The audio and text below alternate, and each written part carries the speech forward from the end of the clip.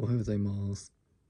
さあ、今日は早速、2023年1月、えー7日ですね。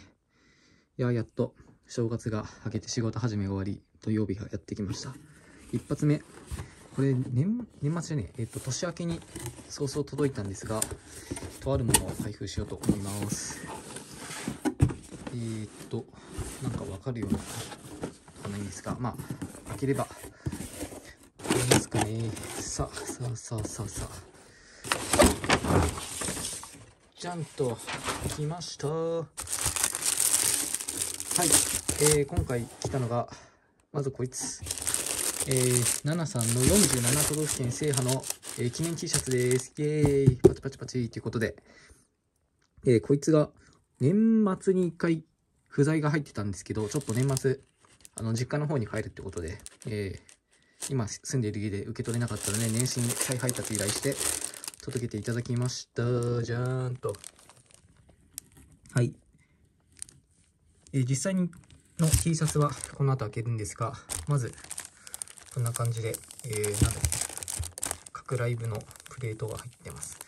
で、僕が行ったライブは、僕ですね、ライブ、ライブっていうよりもね、最初にファンクラブイベントから参戦した勢なんで、実は、実は、実はそうなんですよね。いつからだっけな、ライブ、えー、ライブアドベンチャー、ライブアドベンチャー、違う。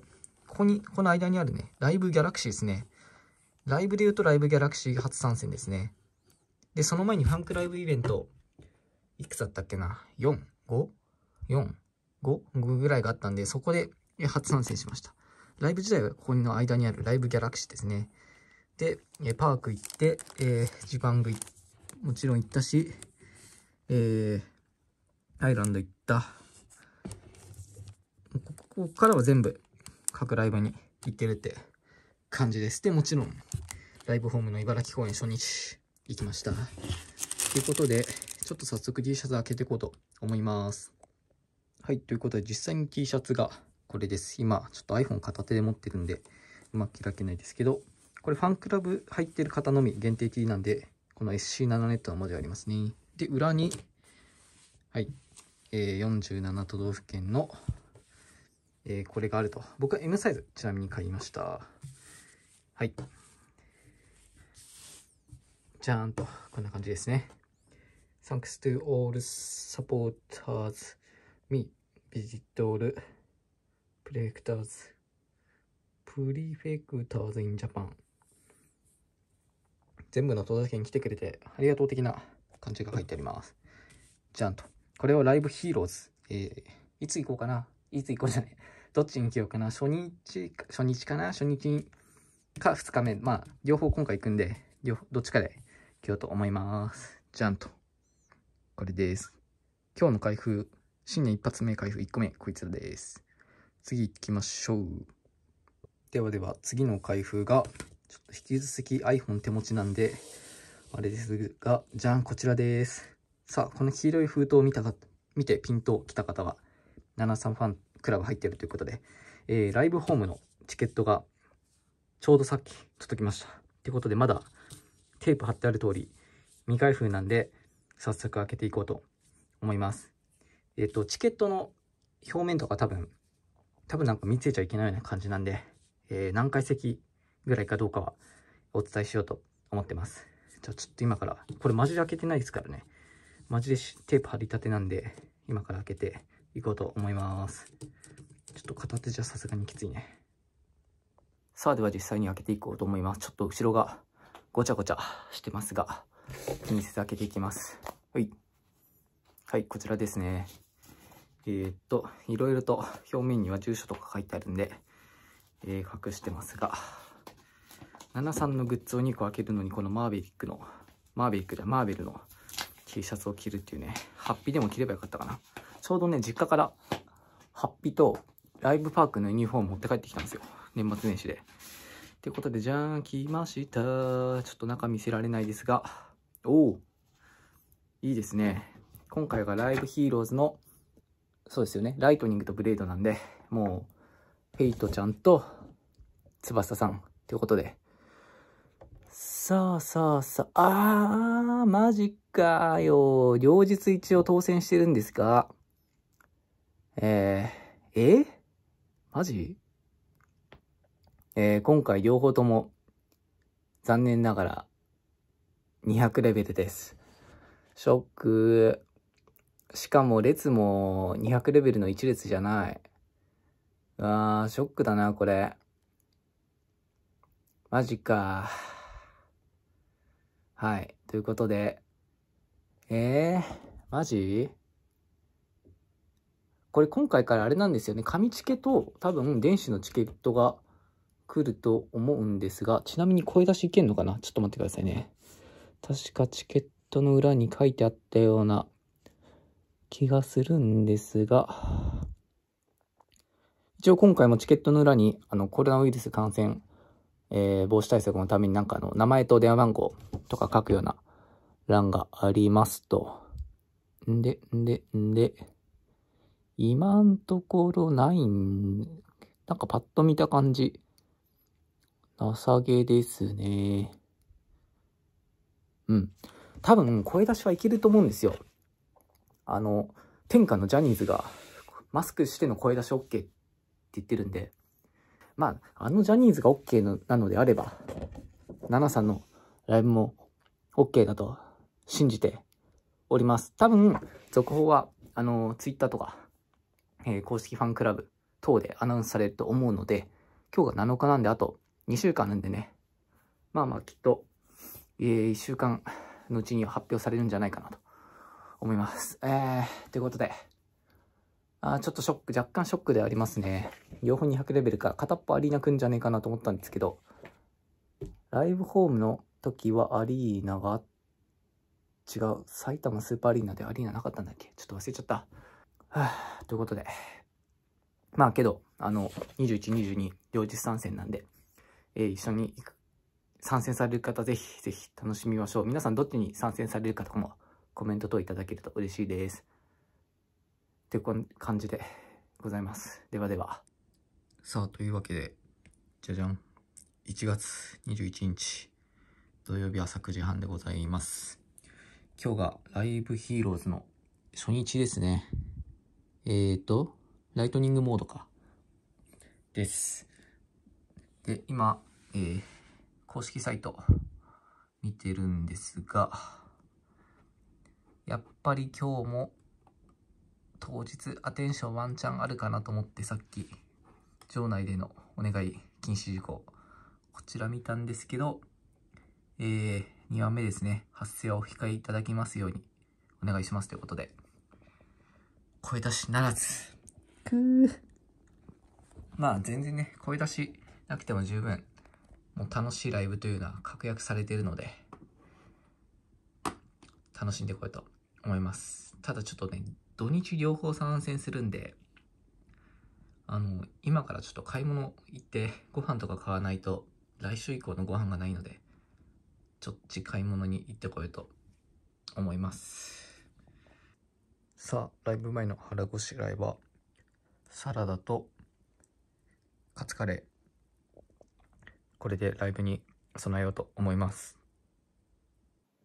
はい、というわけで、そろそろ埼玉スーパーアリーナの方に行こうかなと思います。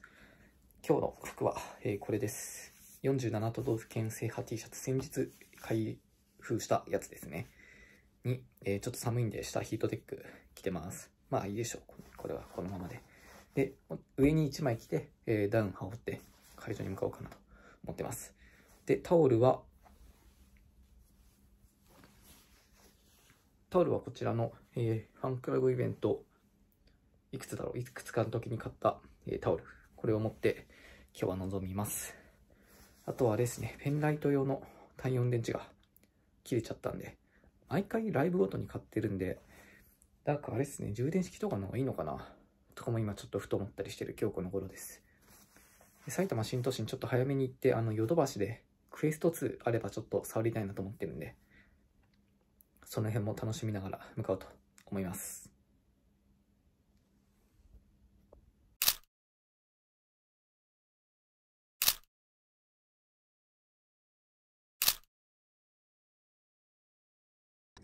いや、お疲れ様でした。ライブヒーローズ、ライトニングモードですね。1日目。いやー、ちょっとこれはまた別途話す動画を上げたいんですけれども、とにかく瀬戸りが神。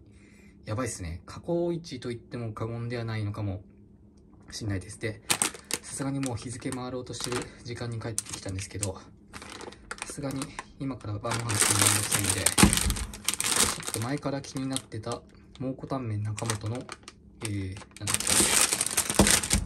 け、汁なし、マーシン麺。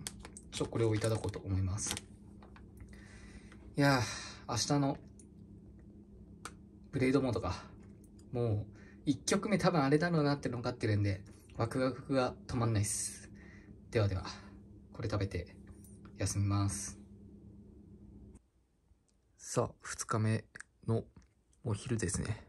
えー、これ食べたら埼玉スーパーアリーナに向かおうと思います。お昼がご飯と味噌汁と、最近ハマってる、あの、自分で作った煮卵ですね。と、えー、納豆。質素なご飯で、今日も過ごしたいと思います。いただきます。さあ、2日目は、えー、このファンクラブイベント7の T シャツを着ていこうと思います。えっとね、今日はブレードモードってことで、まあシンフォギアでしょう。まあシンフォギアでしょう。もう99%そうだと思ってるんで、ちょっと青い、青い服で行こうかなと思ってます。本当は昨日黄色いね、あのライトニングモードだったんで、黄色い服があればよかったんですけど、ちょっと昨日はあの47都道府県制覇の T シャツ着たかったんで、あれで、で、今日はどうしようかなと思った時に、ちょうどファンクラブイベント7の青い T があったんで、これでブレードモード、楽しんできます。1曲目はおそらくシンクロゲイザーでしょう。ね、昨日がイノスタからだったんで、いやもう、楽しみで楽しみで仕方ない。ちなみに足、結構来てます。昨日、昨日の瀬戸りが、ちょっとまた話長くなりそうだからやめよう。昨日の瀬戸りが噛みすぎて、ちょっとはしゃぎすぎたんで足がパンパンです。そんな感じです。ではでは、楽しんでいきます。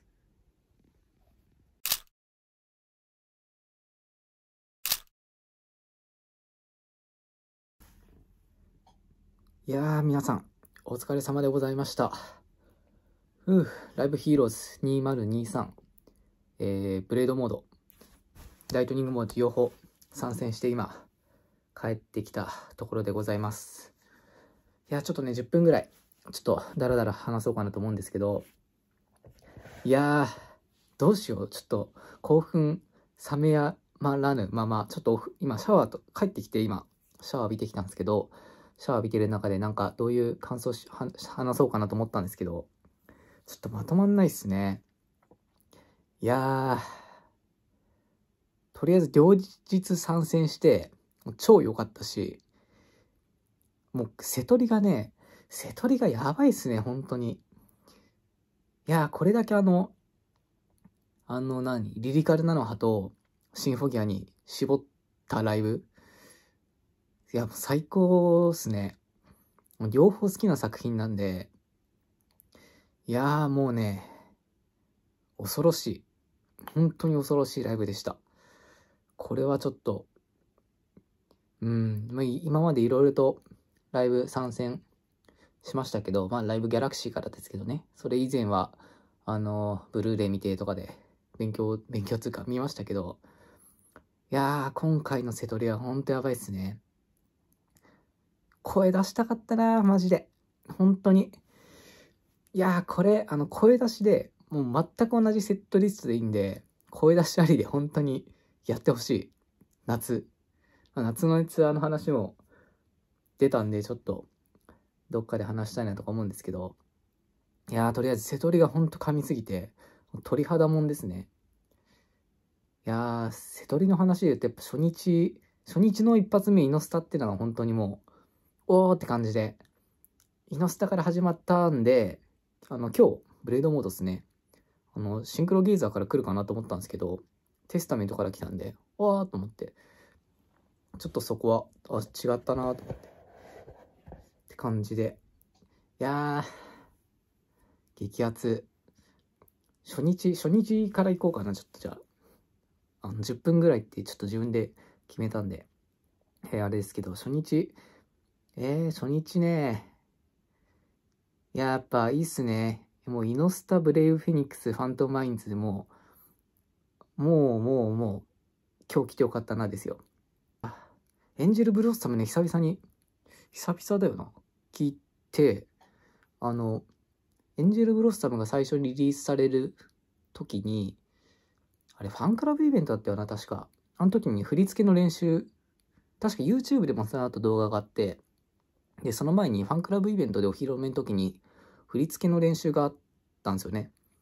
で、あれ以来、まあ、他のど別のライブで、あの、リリースされたすぐのライブでの振り付けは覚えてたんですけど、久々に聞いて、あ、サビのところ振り付けどうだったかなとか思ってたんですけど、案外体が覚えてるもんで、全然余裕で、あの、エンジェルブロッサム、振り付けまで行けました。あとなんだろうなええやっぱナノハ曲熱いっすね。でも僕は、ナノハは、あの、プレイが大好きなんで、これがもう最後の最後で聴けて、本当に超嬉しかったですね。いやー、いやけど、ドンビーロングもいいっすよね。もうなんだろう、脳内であの、ドンビーロングとか、もう映像が再生されるんですよね、ナノハの。ってことで、いやー、マジ神ですわ。本当に。ライトニングモード最高。いや、友達にね、めっちゃナノハ好きの友人がいるんで、ちょっとそいつに声かけて、まあ、わいや、まあ、そうですね、声かけてあげればよかったかなと思いますね。明らかに今回はもうライトニングモード、ブレードモードで黄色と青ってことで、どの曲たちが出るかっていうのがあらかた予想ついたんで、ちょっとね、声かけてあげればよかったかなと思います。で、まあ、初日はそうですね、ちょっと瀬戸りの話と言いながら初日の話になっちゃうんですけど、あの、ナナさんの誕生日ということで、バースデーが、あの、ケーキとかね、えーバースデーソングがありましたね。バースデーライブ参戦自体は初ですね。5年前のライブゲートでしたっけ？あの時のバースデーライブは当たんなくて、あの、何、映画館であるライブビューイングか。ライブビューイングが見てたんですけど、あの直で会場は行かん行けなかったんで、初、えー、73バースデーライブっていうことで、よかったですね。超楽しかった。で、今日ですよ、今日。ブレードモードもやばい。どう、どうします？で、あの、シンフォギア系以外にもブラッドシーの歌が聴けて、めちゃくちゃ良かった。純潔パラドックス聴けて、結構好きなんでね。で、もちろんシンクロゲイザー。あの、僕が人生で初めて買った CD が、あの、ナナさんのとかじゃなくて、人生で初めて買ったのがシンクロゲイザーだったんで、やっぱ痺れますよね。で、次に買ったのが、シンクロゲイザーのが後なんですけど、次に買ったのが、あの、純潔パラドックス買ったんで、いやーなんか、その辺の、買った当初の映像を思い出しますね。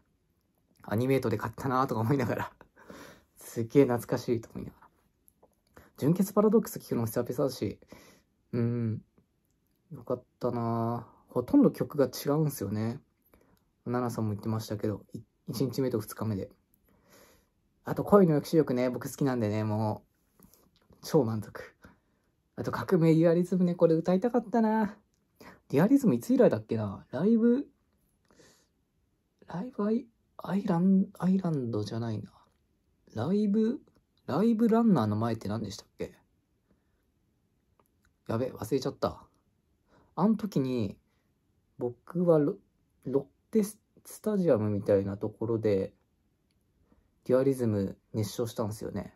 あれ以来だしですね。だから、3、4年ぶりぐらいかな。でしたね。声出ししたかった、マジで。本当に。もう、7月のライブはね、声出ししたいですね。いやー。あと、グロリアスブレイクも最高でした。もう、グロリアスブレイクね、めちゃくちゃ思い出あるんですよ。なんかあの、ライブギャラクシーから参戦組なんですけど、ライブギャラクシーで一番のなんか、記憶に残ってるのがグロリアスブレイクなんですよね。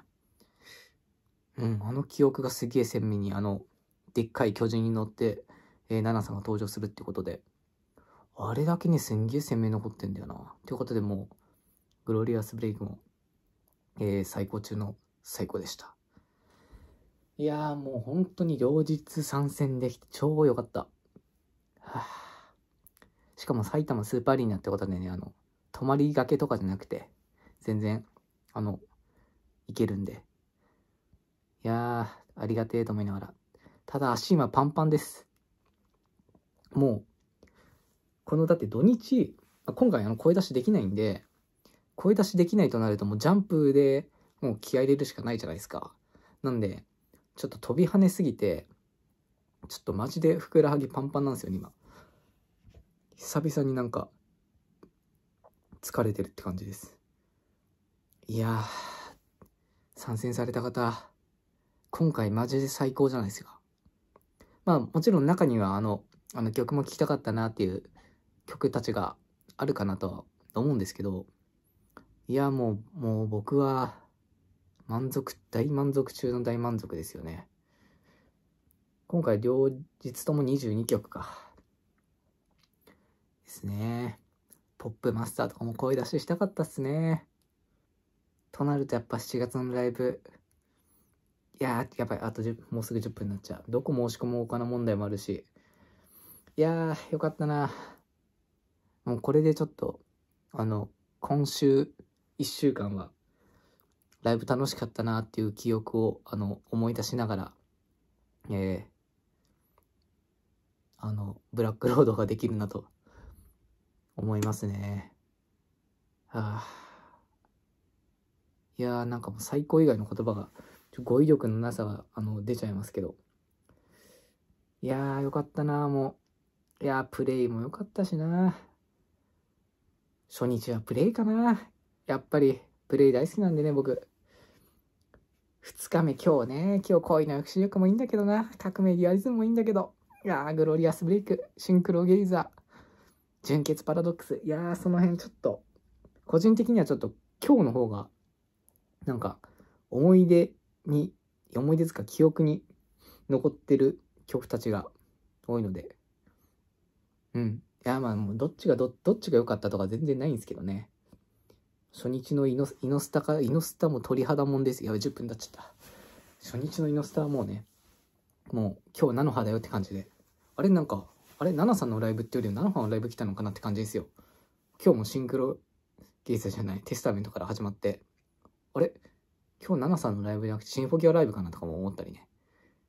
いやー、激アツの2日間、ありがとうございました。ぜひぜひ、えー、参戦された方、感想をコメントに書いてくれると嬉しいです。ということで、ちょっと動画、この今撮ってるやつとかを簡単に編集して、えー、明日に備えようと思います。ではでは、楽しかった、最高でした。さよなら、つかおやすみなさい。